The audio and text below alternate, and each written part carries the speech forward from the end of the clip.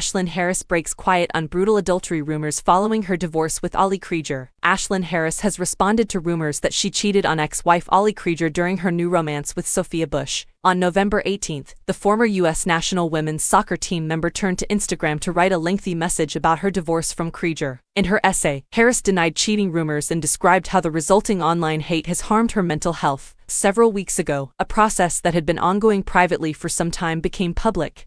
Harris began, ending a relationship after almost 13 years of friendship, teammateship, marriage, and co parenting is a decision that was not made lightly. We agreed to center our children, continue therapy, separate, and to move forward with our lives. Two happy families are always better than one unhappy one. This process is never easy, but we were making our way through, she continued. Harris explained that the former couple were advised by their agents and representation to keep news of their split private until after Krieger finished her NWSL season earlier this month. However, the 38-year-old athlete revealed that a leak made that impossible. The online hate that has happened since has been one of the most personally devastating experiences of my life, Harris said, while she noted that she was encouraged not to feed the beast of negative online comments.